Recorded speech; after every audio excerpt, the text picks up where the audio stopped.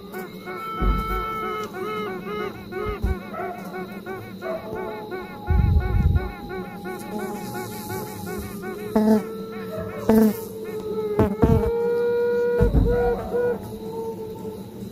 عليكم ورحمة الله وبركاته. إخواننا حاليا في جميع أنحاء العالم وفي الوطن العربي وفي اليمن خاصة.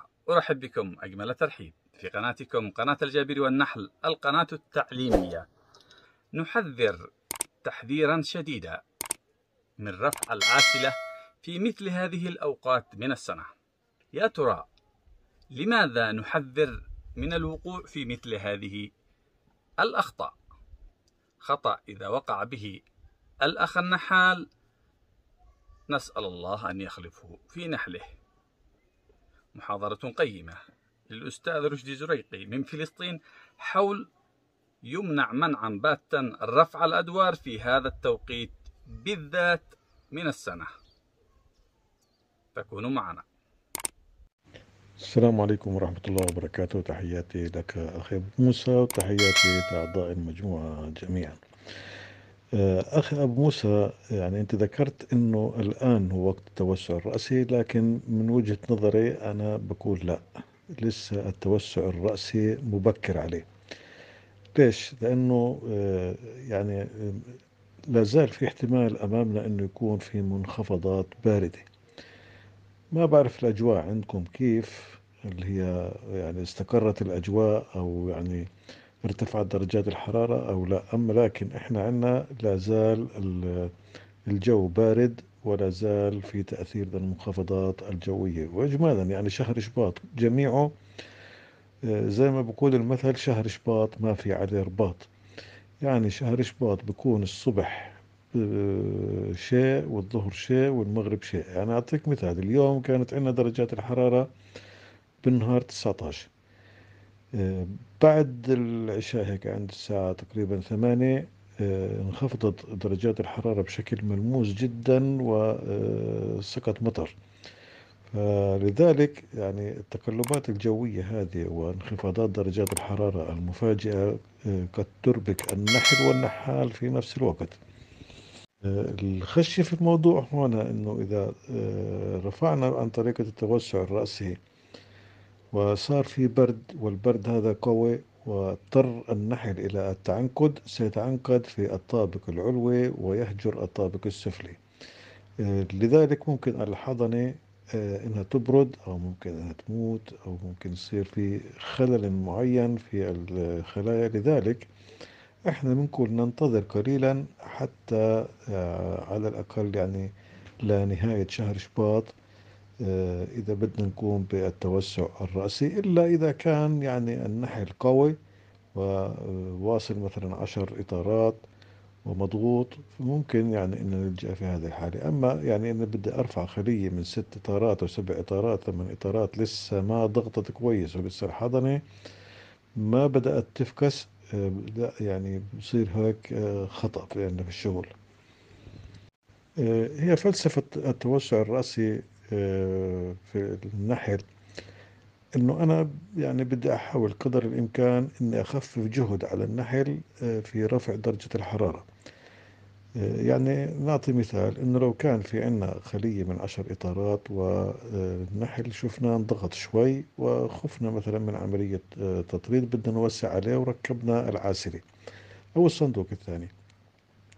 في هذه الحالة بدنا نأخذ مثلا آه، إطارات حضنة مغلقة آه، وننزل فيها إطارات ننزل مكانها إطارات آه، أساس أو ممكن إنه يعني نحط إطارات مبنية وتكون يعني لونها أصفر قليلا يعني بدنا إياه جديد هذا الإطارات هذه جديدة. ولنفترض إنه ما رفعنا حضنة من تحت لكن في هذه الحالة مثلا إذا رفعنا ثلاث إطارات ممكن بصير في عنا مساحة كبيرة واسعة فارغة.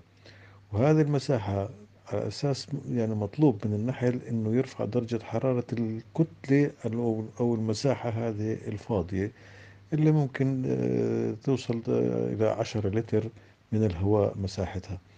النحل يعني مضطر إنه يبذل جهد كبير حتى يرفع درجة حرارة هذه المنطقة الفارغة.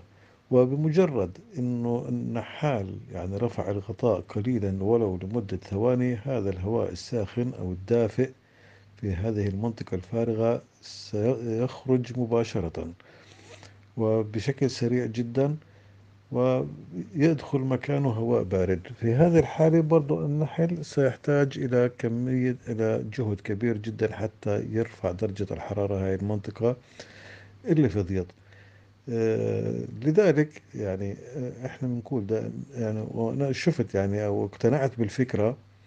طبعا الفكرة ناقشناها إحنا والأستاذ آه سليمان يوسف في إحدى المجموعات لما كان معنا في إحدى المجموعات.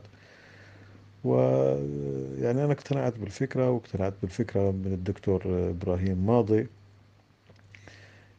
فالفكرة تقوم على أنه إحنا بدنا نرفع يعني نرفع تقريبا نص النحل الموجود في في صندوق التربية إلى صندوق العاسلة مرة واحدة.